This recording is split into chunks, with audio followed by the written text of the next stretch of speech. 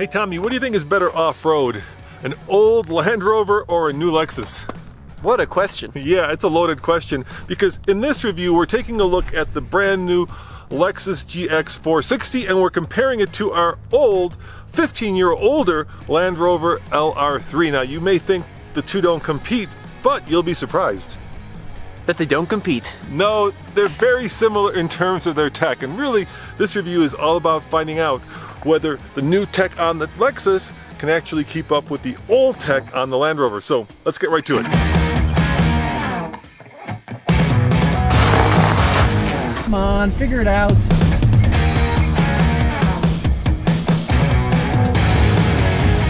I'm starting in just your normal driving around mode, center diff unlocked, no special programs. But as we start going up higher, I think I'm going to have to start engaging some of some of the off-road goodies.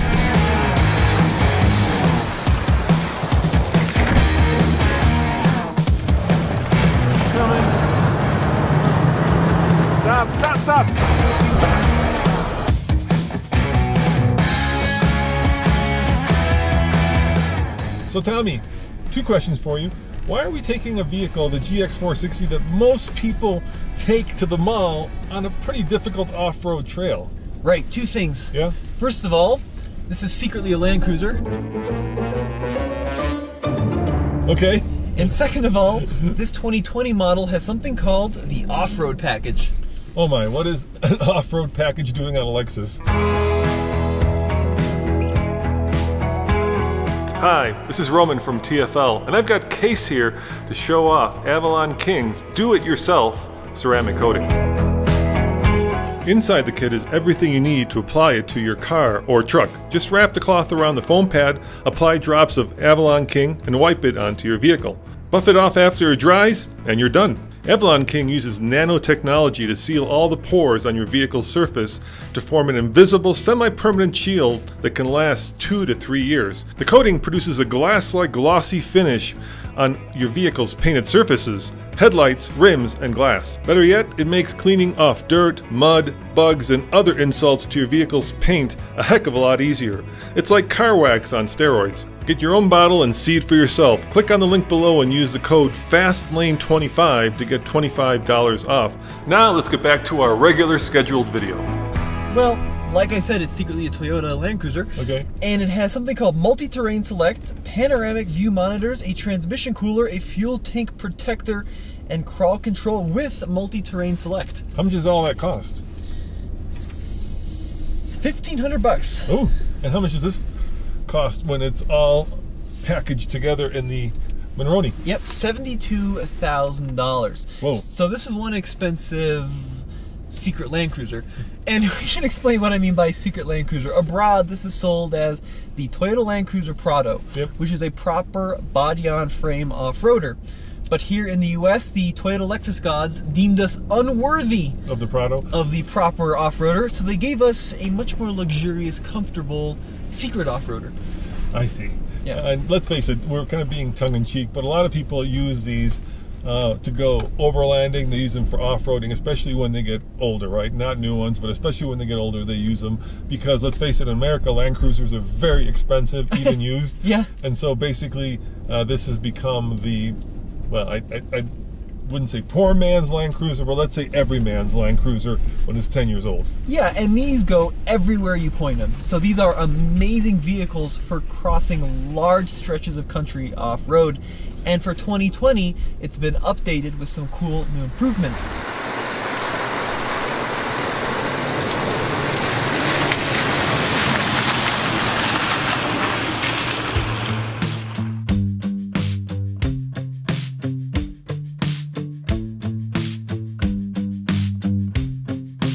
Lexus has really taken the buttons and off-road tech to the extreme in this 2020 GX. I mean, this set of switches looks like mission control down here. First of all, I've got a button for low range, so I put the truck in neutral and pull that down, engage the low range transfer case. Once I'm in low range, I've got a switch here for multi-terrain select, and I have five different settings depending on the terrain I'm driving over. And then if I push this button here, it engages crawl control, which is like super slow off-road cruise control, which will apparently get me over anything I point the Lexus at.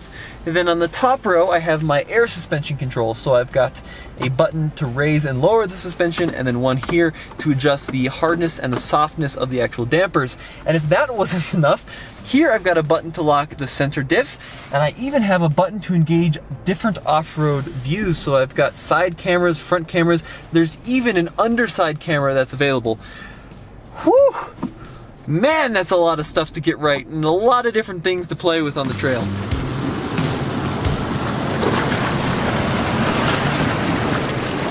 Yeah, but it is missing some things that I'd like to see in a dedicated off-roader, and that is like good tires. Yep, It- it's it- missing good tires. Yeah, and maybe a rear diff lock would be nice as well, and you know, pretty good approach and departure angles. And I look at the front of this thing; it's pretty much got a chin that sticks straight out, right, instead of straight up. Oh, that's my biggest frustration with these Lexus off-roaders. This, the GX and the bigger LX, Yeah. they have the tech, they have the build quality, Yep. but because they're Lexuses, Yeah. and that's synonymous with, you know, style and luxury, Yeah. they put on these really low hanging side steps and these really pretty front ends. Just, if you're gonna do an off-road package, give me a big meaty skid plate in the front, right? Something I can bash into. I don't want this pretty little chin spoiler thing uh, with fog lights. I want something more aggressive. Let's face it, you know, these two cars, if they were new, would compete. Yeah, up the Land Rover pretty much price wise, exactly. They're both three row. The Land Rover Yeah. in front of us is bigger. Yeah, So this weighs about 5,100 pounds. That's 5,400 pounds. right. Uh, they both actually have pretty similar V8s. Yep. So this is a 4.6 liter V8 with 301 horsepower. Yep. That's got a 4.4 V8 with 300 horsepower. Yeah. So in, in a lot of ways, we're matching them up, or in this case, mashing them up, because we always get the comment, "Why are you guys comparing two vehicles that don't compete well?" If that were new or if this were old, they would compete.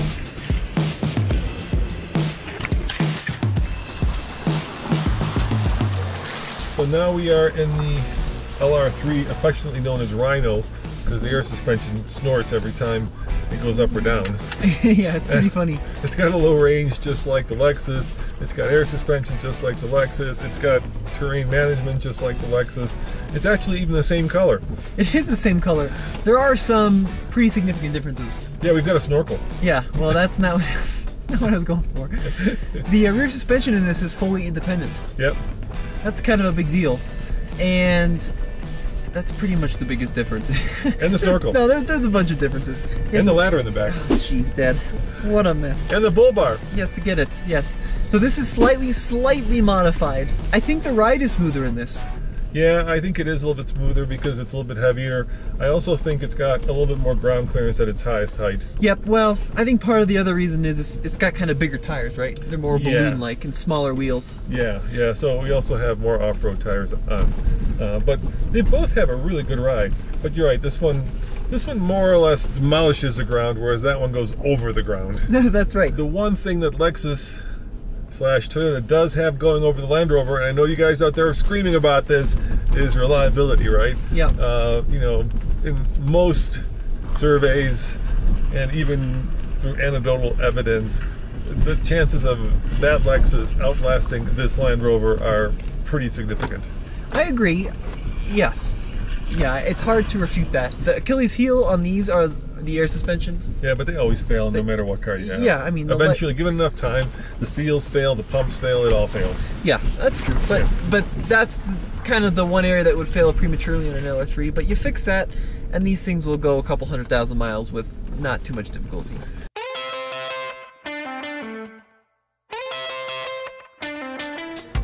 In the LR3, we have a number of different controls as well, but it's a lot simpler than in the Lexus. So I've got a paddle here that engages low range. That's easy to do. And then I've got another paddle which will raise the suspension up uh, from high mode to standard mode and even an access mode. So that's pretty similar to the Lexus. I then have this old school plastic knob to control the different terrain response programs. So I've got a uh, grass, gravel, snow, mud and ruts, sand, and even a rock crawl setting. And then a hill descent control button. Uh, that pretty much does it, I think. Now, if this was not a poverty spec model SE LR3 here in the US, we would have a screen up here which would show you where the power was being directed and a bunch of different angles. This one does not have it because the owner did not spend enough money, so instead we just have this little kind of cheapy screen here in the middle. Oh, no cameras. There are no cameras in here, so I'm gonna have to do it old school by just dangling out the window to see what I'm gonna hit.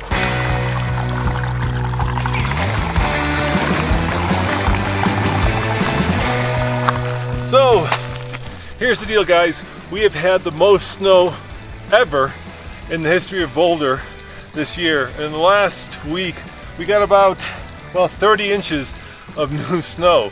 And uh, snow and off-roading don't really mix because it's a great way to roll a vehicle or hurt yourself. So what we're gonna do is gonna take the Land Rover up here first and that way if we break it, we're breaking our own thing instead of Toyota's $72,000 Lexus. All right, here comes Tommy. All right, here we go up the ironclads in the Land Rover LR3. Now I'm starting out in normal mode, so high range, uh, no special programs. Yep, we're just in normal mode.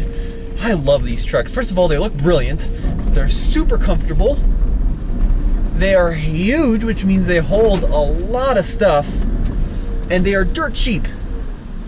of course, maybe for a reason, but LR3 seem to be pretty solid. Now we're coming up to our first ledge, and I think I'm gonna have to raise the suspension and select low range. Yeah, for sure. Um, low range, this is where the fun stuff begins. I can push all sorts of buttons. Off-road height on the suspension selected. There it goes, it's lifting up. Now this Land Rover does have a two inch lift rod installed, which means it sits a little bit higher than stock. So Tommy is in on-road height right now, which is actually tall enough to make it up the first step, but he's gonna jack up the Land Rover into off-road height. He's doing it right now to get even more ground clearance. Okay, so we are in low range, and I'm gonna select a program. Grass, gravel, snow, that sounds good. Okay, let's see if we can do it.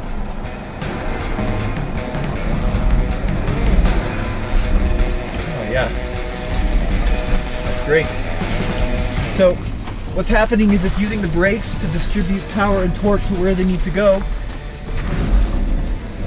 Not bad at all, and we were able to crawl up there with plenty of ground clearance to spare. All right, Razor rocks, super sharp rocks, open diffs. Not a good combination when you add snow into the mix. Here we go. Here we go. Now, there was an off-road package available for the LR3, which gave you a locking rear diff. This one does not have it. There it goes, though.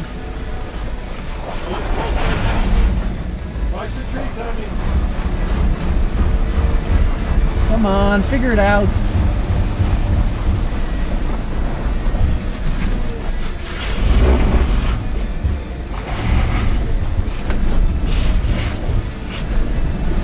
There you go.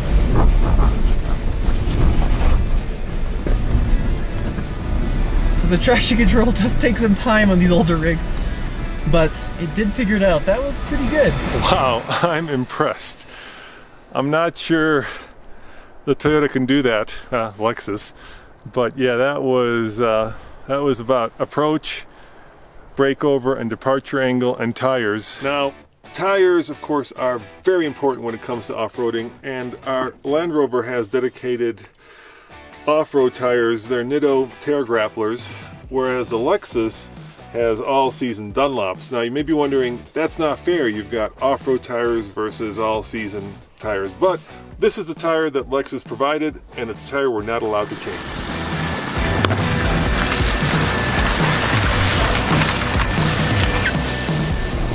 try to keep a little bit of momentum and I'm more worried about sliding all the way back down than actually getting up so see here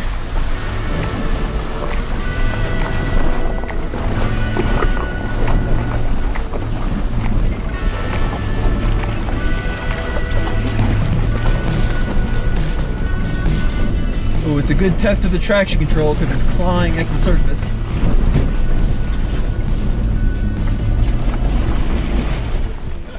Do you have any control, Tommy? I got a little bit. All right, truth or dare? I gotta tell you, they both look pretty ugly. Truth has some grip. I mean, the snow is melted off. Dare is all snow. I don't know. What do you think? Yeah, go for dare. You can always back down, huh? Okay. Foot to the floor.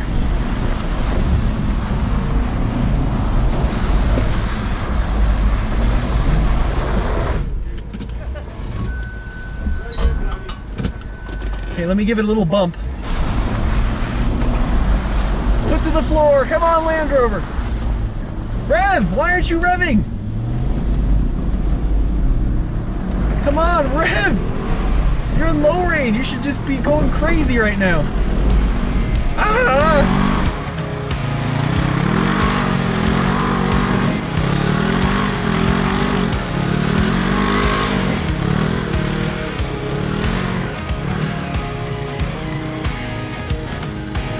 Okay, let's try this. First gear.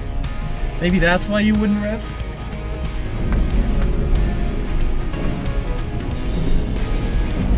That's a little bit better actually. Alright, so in first gear, if I manually select it, it will actually allow me to get some RPM up. How do I want to make this turn? Now that is impressive. The Land Rover went up the harder side than the Razor. That's pretty crazy. Uh, and they both made it to the top. Now the question is, can Tommy turn around and actually make it back down without rolling it? Come on, come on, Land Rover, don't slide down the mountain. Oh. Let's turn on hill descent control, see how that works. That seems to work really well. All right, so I, coming up the hill, I was in snow mode, which I think was the wrong mode because it was definitely fighting the throttle. I was all the way down and it wouldn't let me get any revs up. Um, so maybe I should have been in like mud or ruts, although with the snow, I thought that would have been the best program. Ooh, it's definitely uh, sliding around pretty good. Nice work, Tommy. You went up the harder side than the Razor. Yeah, it wouldn't let me, I was in the snow mode, Yeah. which we were on snow, Yeah. uh, but it wouldn't let me get any RPM up. So I'm thinking I should have been in a different mode, but it made it up. All right, let's go get the Lexus and see if we can even get this far. Yeah, let's see. Now I know style may not seem like a very important off-road trait, but in some ways it is because it may determine how much chrome you leave out on the trail. And if you look at the Land Rover, everything is very tucked up, everything is curved toward the underside so that there's not a lot of bodywork hanging down to scrape on stuff. Now the Lexus does have a lot of bodywork hanging down. Look at the front, it's very low, it's very sports car-like. That is not what you want off-road. Lexus's approach seems to be that with the grill they hope to eat the competition alive because certainly with that low splitter it doesn't help much with approach angle. All right, here comes Tommy in the Lexus, and I gotta tell you, I'm really nervous about this one. We don't own this car, and we get a lot of comments from you guys like, well, why don't you, you know, drive it up into a tree? And we don't own it. We have to take care of it like it's somebody else's. I'm starting in just your normal driving around mode, center diff unlocked, no special programs. But as we start going up higher, I think I'm gonna have to start engaging some of the some of the off-road goodies. Now we're coming up to these steps here. Let's see uh, let's see what's going on. Let me put the windows down so I can hear my spotter. Am I gonna clear this one? Good. All right.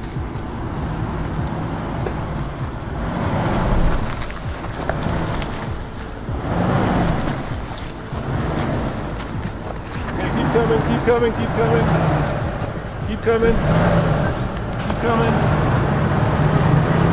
Stop, stop, stop. Can you jack it up? Yeah. Okay. Because So right now you're gonna hit. Let's go into low range. Let's go into the high suspension on the air suspension. High setting, I should say. I'm gonna go into crawl control too. Slow. Slow, slow, slow. Stop! You're gonna you're gonna tear off the chin. What the heck? Come look. I mean, we'll tear the chin off, dude. Look at this. I mean, that'll just tear right off. Can I go left or right? No, it's gonna. Unless unless we actually put something under the wheel. I could put a rock or something under there, and then you could potentially do it. You want to try, or should we just? You do it. It's a, it's. No one's going to do this with their seventy-two thousand dollar Lexus. I don't want to. I don't want to have that call with uh, Toyota Lexus. You know, they give us a lot of great cars, and I don't want to explain to them why we tore the nose, their spindle nose or their predator nose. I mean, there's no way. Look. So Lexus does did do a concept of this called the GXOR. Do you remember that? I remember. I wish they'd send us that. That'd be cool. All right, well that was disappointing. I have no doubt that with a different front end, some better tires, and a bit of a lift, this could go anywhere the Land Rover could go. But it's just disappointing that Lexus put such a low front end on such a great, capable off-roader. Uh, what are you gonna do? So we didn't want to just leave you hanging and not take the Lexus up the ironclad, so we're to try a real world snow slip test. Basically, Tommy has it in such a, such a position that the driver's side front wheel is in the air and the passenger side rear wheel is in the air, and we'll see if it can send power to the right wheel to actually get him up and over this gully. So, you ready, Tommy? Yeah, so I'm gonna go into crawl control. That'll be the best way to do this, I think. Slow as crawl control, and then I just take my foot off the brake and it should do it for me. Are you ready? Yeah, go for it. Oh yeah. Look how good that works. Hey, back up and try it without crawl control. Just try it with your throttle. All right. Yeah, see what happens then. Go back, back, straight. Okay, I'll tell you when you're in the air. Keep going. Okay, right there, you're in the air. Oh yeah, stop. All right, this is gonna be, I have to choose a setting. I guess mud and sand. All right, here we go. Oh, You're geez. sliding backward.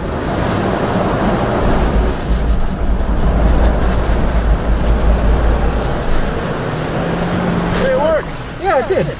Looky there. So what we have here is a really competent vehicle with not enough approach angle. It's that simple. So if you guys buy one of these, you're gonna have to get yourself some kind of a different front bumper that allows you to actually use this vehicle's full capabilities because yeah, it's good. It's just too urban right now.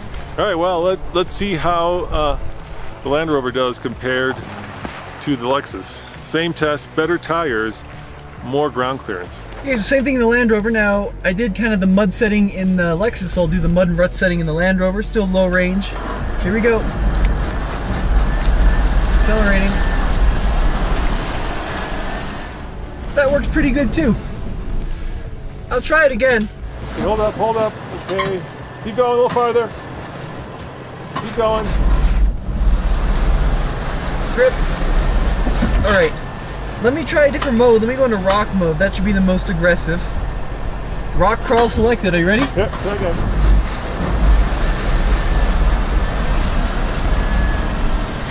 There it goes.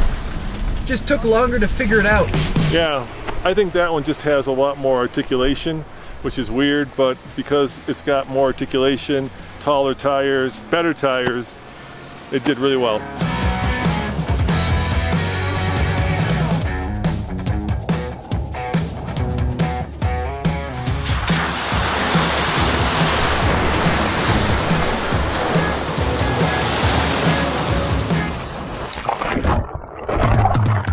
So, Tommy, I think it would be fair to say that a 15 year old Land Rover that cost about $6,000 is better off road than a brand new $70,000 Lexus. Yeah, but not because it's actually any better off-road, but it's just that $5,000 is a lot easier to stomach when you end up crunching into a tree than 72 grand. So, there you have it. You know, uh, the off roader that is best is the off roader that you're willing to break the most. As always, this is Roman. And Tommy, head over to tflcar.com for the latest and greatest in new car and truck reviews. See you guys next time. Ciao.